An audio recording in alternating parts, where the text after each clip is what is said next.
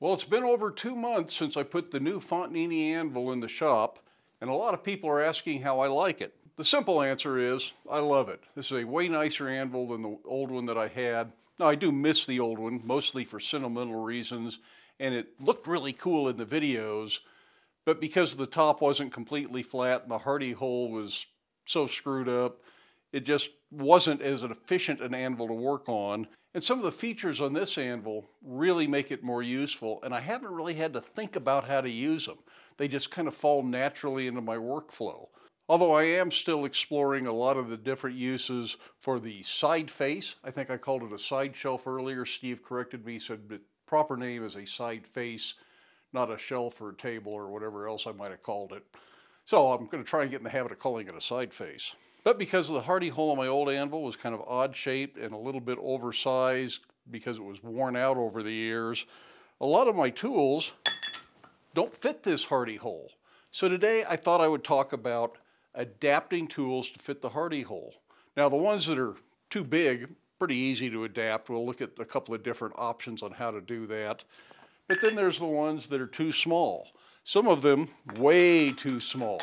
I mean, that's just almost a useless tool in here. And one approach to smaller tools is just to make a sleeve that you can use for multiples. Although this one is a three quarter inch shank. I don't know where I got that. It's an old used tool. I haven't had an anvil with a three quarter inch hardy hole in it for 30 years. And so it's a little bit loose even in the adapter.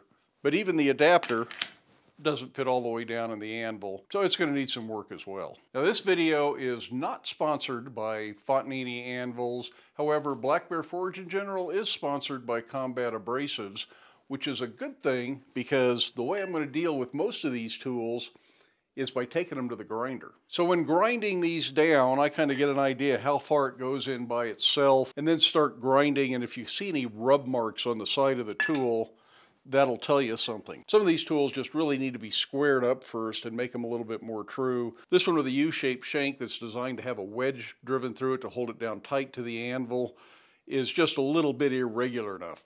It was actually loose fitting in the other one and it just doesn't hardly drop into this anvil at all. So the first thing I do is just kind of grind it square and reduce that tail end without reducing the top end. When it's all done, I want the very top of this to fit as tight as possible. If this tail end is tapered a little bit, that doesn't hurt anything.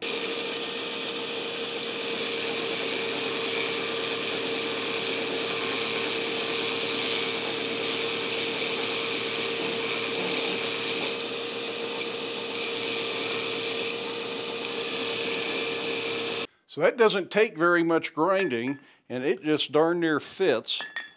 You have to check, well see it actually fits in that direction almost in that direction. So we got to figure out what, what the difference is and why it holds up. It's not perfectly straight, but that is a feature left over from the old anvil because it was made to fit that. And I use it this way, so I don't really need it to fit this way quite as much. So if there's some patina or scale on this, you might be able to just work it up and down in the hole a little bit and see if it rubs some shiny spots on the shank to let you know exactly where you need to work.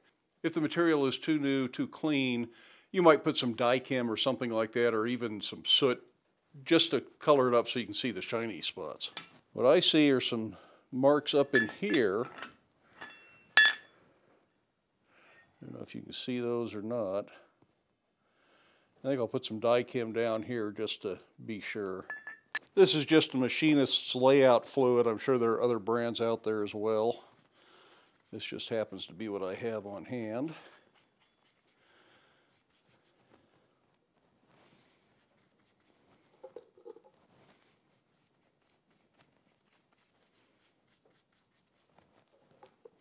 And let that dry.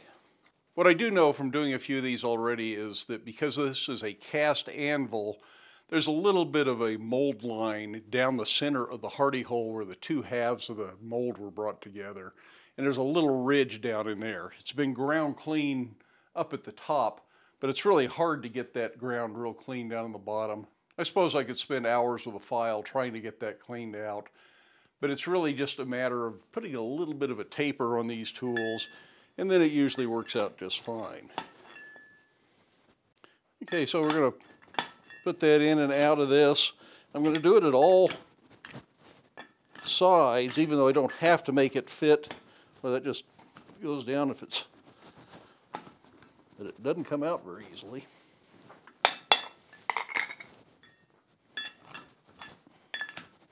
That should tell me right there, just a few little scratch marks right down there. And right around in there. So I'm going to go clean those up. A few little shiny spots up here. Don't, don't over grind, just do the bare minimum to get it to fit. I have frequently put up with some fairly loose hardy tools because of the oddities in that old anvil. But if they fit good and snug and are actually a little hard to get back out of the hardy hole, that's certainly better and makes the tools more efficient in the long run.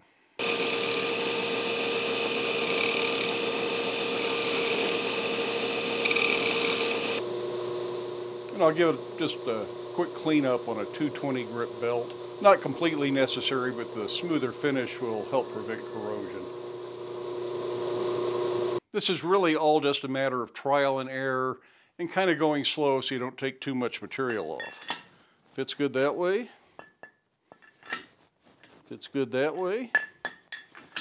And it even fits all but one direction there. And I don't think I'm going to worry about that because, like I say, I use it this way for doing socket chisels. And these are just two different size chisel sockets. And that's going to work just fine. This U-shaped hardy shank that used to take a wedge is way too short for use in this anvil. And that extra mass under the hardy hole and under the Pritchel hole is part of what makes this anvil so much better. Things aren't so bouncy. Even that 300 pound anvil, when you get way out at the tail where the hardy hole was, it had just enough bounce and vibration that it was robbing you of energy while you were forging. So this is better, but if I want to use that wedge, I'd have to replace these with much longer shanks that need the wedge. Hopefully I don't need to do that. That also makes them a little harder to store when you suddenly have this much Hardie shank on there. So I'd rather keep them at this length if I can. Now I did mention tools that are too small. You can use an adapter like this for. The adapter of course doesn't fit. And these tools just fit in the adapter if they're all the same size. I have such an oddball collection of tools from various sources that that doesn't always work. And I think for most of these, I'm going to upsize them a little bit. But you can't use a grinder for that. So having an arc welder or a MIG welder, something like that in the shop can give you a few options. This adapter may still be useful in some cases, so at some point I'll grind it down just like I did that and hope this tubing doesn't get so thin that it doesn't work anymore. Now if you have particularly valuable antiques, you may not want to do this. You might want to just go with the adapters so you don't have to alter the tools. Most of mine, while they're old, they aren't that old and they aren't particularly collectible. They are way more useful to me as a working tool. So I'm going to allow myself to do a little grinding and a little welding and things like that to adapt these tools to fit this anvil. But that's just a decision you have to make on your own. First thing I'm going to do is take a little piece of inch and a quarter square tubing, and I'm going to make this fuller fit that. That's a little bit tight for this. I might be able to just drive it in there, although I'm not sure, and I hate to get it stuck. So I'm going to do a little grinding on this, get that to fit in there, and then we'll just put a little bit of a weld on there to hold this. Then that will have to be ground to fit, although, boy, it's awfully close. It doesn't need much.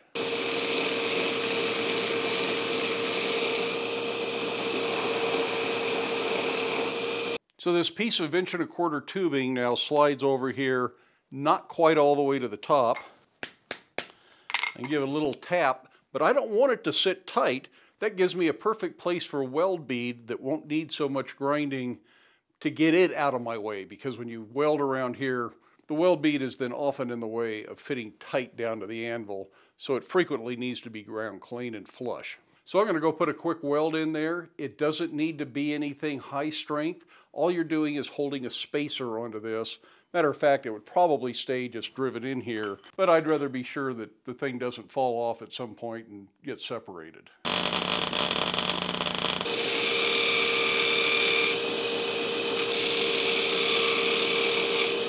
And now we're right back to where we were with a slightly oversized Hardy shank because the tubing is a little bit big but not by much. Let's see if we can do this without any Dykem on there. You can see scratches down here. The top looks pretty good, so it's just that lower part of the hardy hole that tends to be the hangup. Oh, by the way, on tools that are oversized and need to be reduced, an alternative to grinding is forging the shank down. And if it's a tool that you made, you know what the steel is, you know the heat treat properties, you can go ahead and get it hot, reforge it, then normalize, harden, temper, and put the tool back in service. Might still be faster to grind it, just depends on what you feel like doing. On some of the fabricated tools that have welded on hardy shanks, reforging that often stresses the electric weld and causes a fracture. So on those, I'd rather just grind them.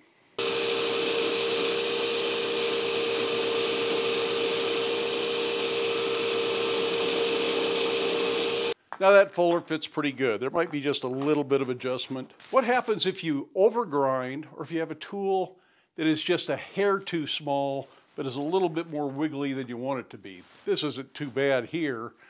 And I don't really have any that fit that category. In the old anvil, I had quite a few that were just a, a hair undersized because that hardy hole was kind of oversized. It's really easy to just run a bead down the hardy shank with your welder and then grind that till it fits and it just provides just enough extra material. I kind of show you what I'm talking about, but I don't actually have any tools that fit that category. And these tools that are way too small, you can just use heavier wall tubing, or you could weld flat bar on the sides of it or a piece of angle iron. And of course, you can go back to making adapters for the anvil. So I got a lot of these things to do. All these tools are going to need some little tweak or adjustment one way or the other. I just wanted to kind of give you an idea of what I was doing and give you some thoughts on how you can correct these if you have the same issue in your shop. Some of these old tools are just too valuable. You're not going to want to weld it up to make a fatter shank on it. You just have to figure out what you're going to do, whether that's some sort of an adapter or whether that's just a tool that you hang on the wall because you don't want to grind it down or forge it down to make it fit your hardy hole. In my case, that's this old stake. It's definitely too small for this it doesn't quite fit this adapter, although it's pretty close. So I think I'm going to try and make another adapter that just fits this, that will slip over here, and maybe put a set screw in it so it lives with this, but I'm not going to do any welding to this. I'm not going to do any grinding to this. I'm going to leave this in as much original condition as I can. And I really don't use it too much because I don't want to abuse this cool old stake. That's really all I have today. Remember, if you need abrasives, check out Combat Abrasives. If you use the link and the coupon code in the video description, you can get a discount on your next order. In the meantime, I hope you have time in your day to get out to your shop, make something, but stay safe, wear your safety glasses. We'll see you for the next one.